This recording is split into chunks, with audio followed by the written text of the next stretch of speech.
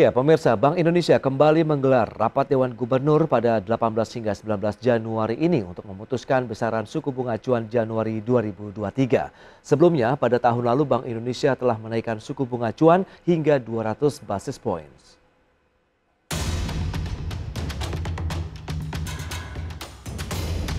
Bank Indonesia menggelar rapat Dewan Gubernur pada 18 hingga 19 Januari 2023. Rapat tersebut akan memutuskan suku bunga acuan Bank Indonesia Januari 2023. RDG kali ini merupakan rapat pertama di tahun 2023 yang berpotensi menjadi gambaran bagi kebijakan Bank Indonesia di sepanjang tahun ini. Sementara ketidakpastian yang masih sangat tinggi diproyeksi masih akan membayangi kinerja perekonomian tahun ini. Sebelumnya dalam rapat Dewan Gubernur bulan Desember lalu Bank Indonesia kembali melanjutkan kebijakan peningkatan suku bunga dengan menaikkan suku bunga acuan sebesar 25 basis poin menjadi 5,5 persen serta menaikkan suku bunga deposit facility sebesar 25 basis poin menjadi 4,75 persen dan suku bunga lending facility sebesar 25 basis poin menjadi 6,25 persen. Gubernur Bank Indonesia Peri Warjio dalam konferensi pers rapat Dewan Gubernur Bank Indonesia Desember 2022 mengatakan keputusan kenaikan suku bunga tersebut sebagai langkah lanjutan untuk secara front load, preemptive, dan forward looking untuk memastikan terus berlanjutnya penurunan ekspektasi inflasi dan inflasi sehingga inflasi inti tetap terjaga dalam kisaran 3 plus minus 1 persen. Dan sepanjang tahun 2022 lalu secara keseluruhan Bank Indonesia telah menaikkan suku bunga acuan hingga 200 basis poin yang dimulai sejak Agustus 2022 setelah sebelumnya mempertahankan suku bunga acuan di level 3,5 persen. Berbagai sumber IDX Channel.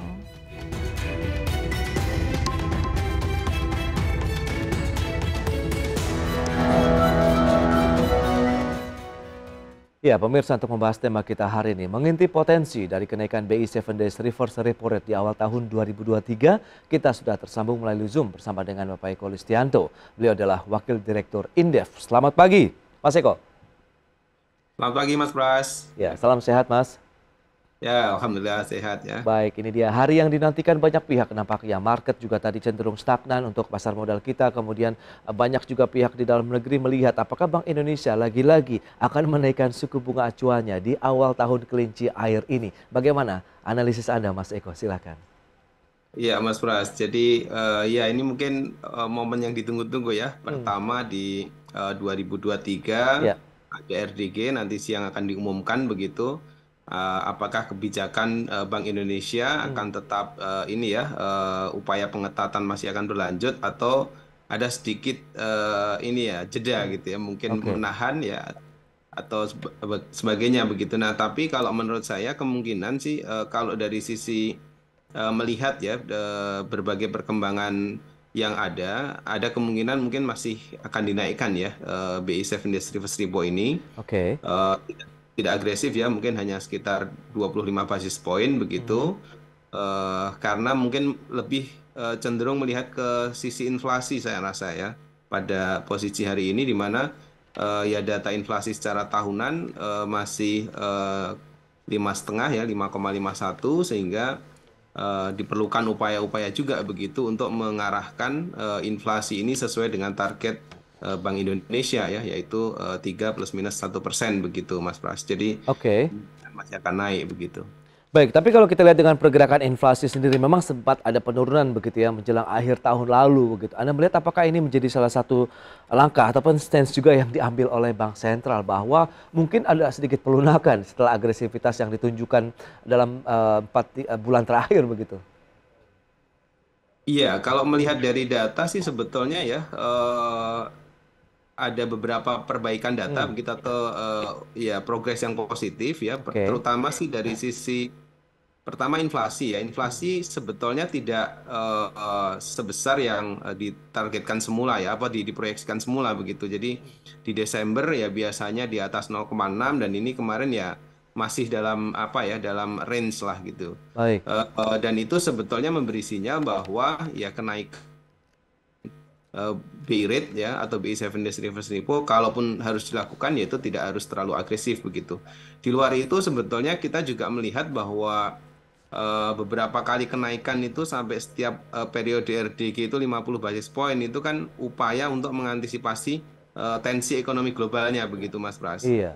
Nah, kita lihat kan terakhir-terakhir ini sebetulnya agak landai ya. Uh, data di Amerika juga menggambarkan situasi yang uh, menurut saya sih uh, cukup ini ya uh, suportif gitu untuk bisa membuat ya setidaknya kita bisa menahan sebetulnya ya harapannya sebetulnya begitu. Tapi kayaknya sih kalau melihat secara keseluruhan masih ada kenaikan begitu. Hmm, ada kenaikan ya berarti untuk pergerakan dari inflasi di Indonesia. Tapi kalau kita bandingkan dengan laju inflasi di sejumlah negara maju khususnya di Amerika Serikat begitu yang cenderung sudah mulai eh, sedikit ada perlambatan di sana, bagaimana begitu? Apakah ini juga masih menjadi salah satu hal yang ya benchmark lah paling tidak untuk kondisi dari suku bunga acuan di dalam negeri?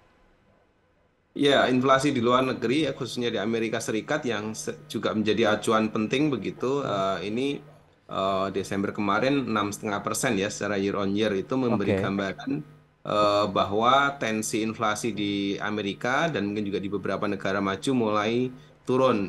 Ini artinya kebijakan mereka ya dalam menaikkan suku bunga acuan di negara masing-masing termasuk the Fed ini ya relatif efektif ya bisa menekan uh, laju inflasi. Nah, di Indonesia menurut saya sih agak sedikit berbeda. Uh, terutama dalam konteks uh, ini ya uh, sumber inflasi kita sebetulnya uh, lebih banyak juga disebabkan oleh aspek-aspek kayak bahan pokok begitu ya. Seperti beras pada saat ini juga cukup banyak ya daerah-daerah yang mengalami inflasi. Ya ada 79 uh, daerah yang uh, harga berasnya naik begitu sehingga itu okay. langsung berkontribusi kepada uh, tingkat inflasi kita begitu. Sehingga mungkin uh, ada sisi supply side yang juga harus uh, dijaga kalau di Indonesia begitu. Jadi memang tidak sepenuhnya akan tergantung dari uh, kebijakan moneter ya. Uh, jadi kenaikan suku bunga mungkin akan bisa mengarahkan uh, target inflasi, tapi di hmm. sisi lain peran kebijakan fiskal juga harus uh, mengimbangi begitu untuk memastikan inflasi 2023 ini uh, sesuai dalam target ya. Uh, okay. Pemerintah itu asumsinya bisa 3,3 persen begitu. Baik, tapi yang dicermati dari Bank Indonesia adalah inflasi intinya. Nah, bagaimana Anda melihat core inflation uh, pergerakannya begitu? Apakah memang ini masih sesuai dengan takaran dari Bank Indonesia? Uh, ya, inflasi inti ini akan sangat dipengaruhi oleh dinamika inflasi di luar negeri, hmm. ya, khususnya uh, terkait dengan uh, bahan baku penolong, ya, okay. atau ya uh, mesin seperti itu ya, atau bahan baku juga begitu ya, karena kita juga impor bahan baku.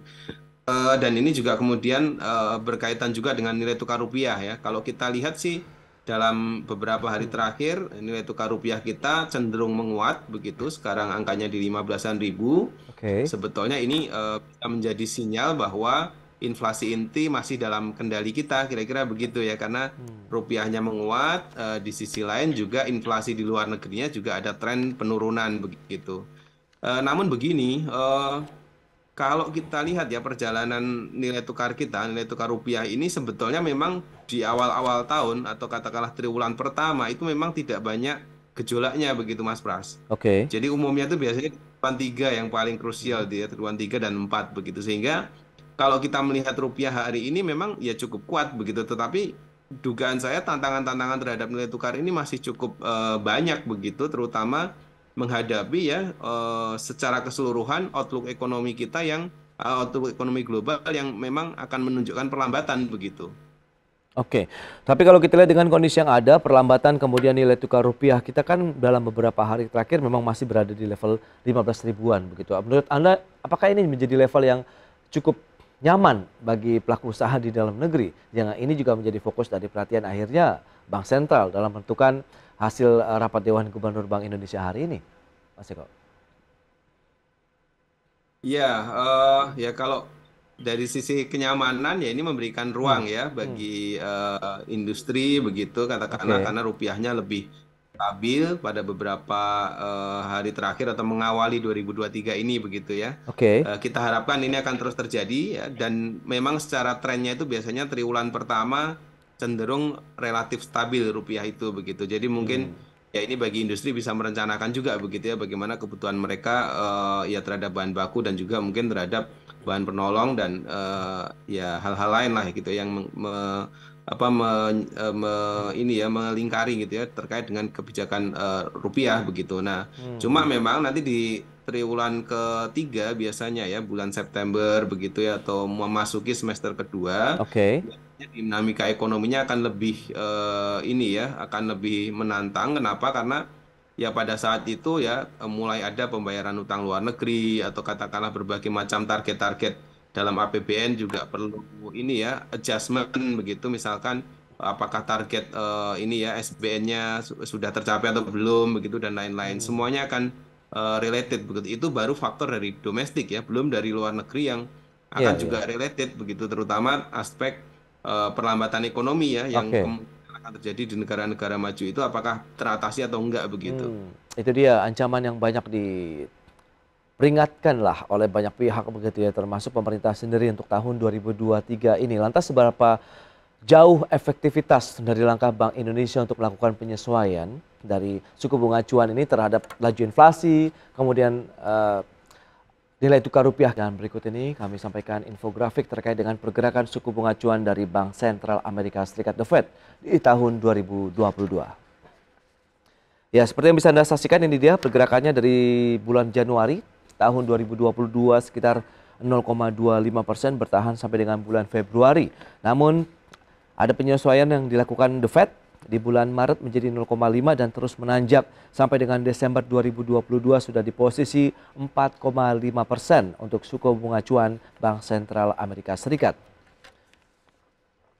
Dan selanjutnya Bagaimana dengan pergerakan laju inflasi tahunan di Amerika Serikat yang juga ini menjadi barometer ya ataupun perhatian dari Bank Indonesia? Ya, dalam beberapa bulan terakhir sempat memang tertinggi di bulan Juni 2022 9,1 persen namun cenderung turun hingga bulan Desember 2022 menjadi 6,5 persen untuk pergerakan inflasi tahunan di Amerika Serikat. Ya, lantas bagaimana dengan pergerakan suku bunga acuan Bank Indonesia di dalam negeri? Ini juga data dari Januari sampai dengan Desember 2022. Ya, seperti yang bisa Anda saksikan juga memang cukup lama dan panjang sekali kita menahan 3,5 persen eh, untuk BI 7 days reverse repo rate. Kemudian di bulan Agustus ada penyesuaian menjadi 3,75 persen dan terus naik hingga Desember menjadi 5,5 persen dan peluang hari ini juga banyak pihak ada peluang tadi Indef juga menyebutkan sekitar 25 basis point atau 0,25 persen jadi ada posisi di 5,75 persen. Baik, kita akan lanjutkan kembali perbincangan bersama dengan Eko Listianto, Wakil Direktur Indef. Ya, Mas Eko kita akan lanjutkan kembali. Memang data inflasi Amerika Serikat yang cenderung turun, kemudian juga dari pergerakan uh, suku bunga acuan juga yang sudah mulai tidak kencang lagi begitu penguatannya. Anda melihat RDG hari ini 0,25 basis point itu menjadi level ideal, moderat begitu yang akan dilakukan Bank Sentral? Uh, ya kalau dikatakan ideal sih, kalau kami sih hmm. sebetulnya pengennya tidak perlu naik ya. Oh, Kenapa? Oh, okay. Karena kalau dibandingkan ya kenaikan uh, bulan lalu itu kan juga 25 basis point ya. Nah situasi beberapa indikator uh, keuangan ini sebetulnya menggambarkan hal yang lebih baik begitu Mas Prasdi. Baik. Eh, sebulan berjalan setelah kenaikan terakhir yang di bulan Desember kemarin begitu. Nah harusnya ada pembeda dong begitu ya. Kalau kemudian situasinya membaik ya kenapa harus naik? Kira-kira begitu ya. Jadi hmm. uh, itu yang menjadi alasan ya sebetulnya yang idealnya sih ya tidak perlu naik. Mungkin cukup ditahan saja begitu di level yang sekarang 5,5 persen begitu. Okay itu akan memberi ruang ya bagi uh, dunia bisnis sektor real untuk ya katakanlah uh, merencanakan bagaimana bisa uh, menciptakan pertumbuhan ekonomi ya growth begitu kira-kira atau melakukan ekspansi lah begitu di sektor real kan ini kan uh, 2023 kan narasinya kan banyak ketidakpastian begitu sehingga Betul. kalau kemudian uh, dari sisi pemerintah ya terutama bank sentral juga memberikan sinyal bahwa uh, sungguh pun waspada terhadap uh, situasi perlambatan ekonomi, tapi masih juga support terhadap pertumbuhan ekonomi, terhadap uh, pro growth-nya, begitu itu akan uh, menurut saya lebih baik ya, begitu. Walaupun juga melihat kondisi realitasnya mungkin karena The Fed baru akan mengumumkan ya uh, belum begitu ya untuk yang terakhir nah mungkin mengimbangi itu ya saya rasa mengantisipasi kalau The Fed juga menaikkan bunga Oke. Okay. Eh, perlu menaikkan uh, duluan begitu ya mungkin begitu. Oh jadi ada peluang juga nanti akan ditahan begitu di 5,5 persen Uh, Harapannya sih sebenarnya itu ya, walaupun yeah, tadi yeah. lebih banyak uh, naik gitu. Ya, tapi sejak uh, seberapa jauh sih saya tadi sempat ingin menanyakan begitu efektivitas dari penyesuaian yang sudah dilakukan Bank Sentral untuk menjaga laju inflasi, kemudian nilai tukar rupiah sejauh ini menurut pengamatan Indef. Oke, kalau kalau kalau melihat dari sisi apakah uh, efektif atau enggak, ya, ya kita bisa melihat uh, sebetulnya dari uh, ya dinaikkan beberapa kali ya uh, rupiah kita di katakanlah apa bukan rupiah uh, BI 7 days reverse repo ya beberapa okay. kali naik di 50-an basis point itu sempat tiga kali ya mm -hmm. dan itu membuat ya uh, rupiah kita dari 15.700-an ya sekarang sudah uh, turun lagi begitu ya sudah uh, di level 15-an ribu. Sebetulnya okay. kebijakan penaikan suku bunga ini punya uh, daya efektivitas begitu terhadap Eh, penjagaan ya terhadap nilai tukar ya. Walaupun di sisi lain mungkin untuk inflasi tetap tidak mencapai target begitu ya. Inflasi kita 5,5 persen uh, itu uh, ya meleset ya dari target uh, bank sentral ataupun pemerintah begitu. Baik, lantas memang itu menjadi salah satu langkah. Dan dampaknya sendiri terhadap market di dalam negeri 2023 dengan posisi suram yang banyak digaungkan oleh sejumlah pihak begitu Anda melihat bagaimana dengan fundamental ekonomi Indonesia? Apakah ini juga menjadi satu langkah yang akan ditempuh Bank Indonesia berikutnya? Kalau memang nanti The Fed menaikkan suku bunga kita ikut juga uh, untuk menaikkan suku bunga acuan Iya, probabilitas untuk hmm. beberapa kali akan tetap terjadi kenaikan ini masih cukup tinggi saya melihatnya ya karena oh, okay. tadi ya walaupun beberapa data menunjukkan tren penurunan, hmm. tapi ini kan awal tahun begitu uh, saya, seperti saya bilang tadi ya dinamika ekonomi yeah. biasanya terjadi uh, memasuki triwulan kedua begitu sehingga itu juga mungkin masih akan ada antisipasi-antisipasi untuk uh, memastikan bahwa uh, ya rupiah stabil begitu dan inflasi uh, terjaga di dalam uh, target bank sentral begitu ya. Nah, dua okay. ini kan indikator kunci begitu. Nah, sehingga ya peluang-peluang untuk kenaikan bunga ini masih akan terjadi ya. Uh, walaupun kalau dilihat dari sisi agresivitas ya kita bisa katakan bahwa kemungkinan tidak seagresif 2022 begitu karena baik data tadi udah ada tren penurunan begitu tapi penurunan ya, itu ya, kan ya. Cukup begitu ya kira-kira. Itu dia. Nah, kalau kita bicara mengenai industri ataupun sektor usaha yang terdampak dengan adanya kenaikan ataupun penyesuaian cukup bunga acuan ini kan ada properti, kemudian otomotif yang which is ini juga memberikan banyak lapangan usaha, kemudian industri turunan di dalamnya begitu. Apakah penyesuaian dengan BI rate ini juga akan menekan kinerja dari kedua industri tadi atau mereka yang sudah melakukan penyesuaian karena sudah dilakukan beberapa kali kenaikan BI rate di tahun lalu, Mas Eko? Ya, kita harapkan dunia usaha sudah ini ya melakukan uh, adjustment begitu, uh, hmm. melihat uh, berbagai data, terus kemudian juga gambaran-gambaran ya bahwa memang uh, situasi kenaikan bunga 2023 ini akan uh, ya kecenderungannya akan terjadi begitu dan itu pasti akan mempengaruhi ongkos produksi mereka. Uh, kalau dilihat sih sebetulnya harusnya sudah melakukan penyesuaian-penyesuaian ya untuk katakanlah uh, siap begitu ketika mungkin memang uh, apa ya policy itu diambil kira-kira gitu ya kenaikan bunga itu kemudian dilakukan oleh bank sentral begitu. Hmm. Secara keseluruhan memang uh, ya tantangan di properti ataupun di otomotif ya ini 2023 juga saya rasa dibandingkan sektor lain juga memang masih uh, cukup besar begitu. Oke. Okay. Karena pemulihan di sisi properti terutama ya uh, kita melihatnya juga masih agak lambat begitu. Uh, nah, tapi kalau dilihat ya dibandingkan dengan negara lain kan pertumbuhan kita ya masih lebih baik lah gitu ya. Uh, Indef sendiri memproyeksikan 2023 bisa tumbuh 4,8, mungkin okay. tidak sebesar tahun lalu, tetapi ini masih cukup ini ya uh, cukup support begitu terhadap uh, situasi bisnis secara keseluruhan. Jadi sebetulnya Indonesia yeah. ekonomi Indonesia 2023 ini masih menjanjikan kira-kira begitu. Baik, menjanjikan dan bahkan menjadi cahaya terang di tahun 2023 dibandingkan dengan sejumlah negara lain yang tengah mengalami kesuraman ya terkait dengan ancaman ataupun potensi dari resesi ekonomi. Baik, tadi sudah disampaikan ada potensi 0,25 persen meskipun Indef berharap stagnasi masih akan terus dilakukan oleh Bank Indonesia dalam artian tidak ada kenaikan ya suku bunga acuan di awal tahun 2023 ini. Mas Eko, terima kasih banyak ini atas waktu dan sharing serta insight yang Anda berikan untuk pemirsa IDX Channel. Selamat melanjutkan aktivitas Anda kembali. Salam sehat, Mas Eko. Terima kasih. Ya, salam sehat. Terima kasih juga. Ya. Baik pemirsa, satu jam sudah saya menemani Anda dalam market review dan tetap saksikan IDX Channel, your trustworthy and comprehensive investment reference. Saya Prasetyo Wibowo, beserta kerabat kerja yang bertugas undur diri. Terima kasih dan sampai jumpa.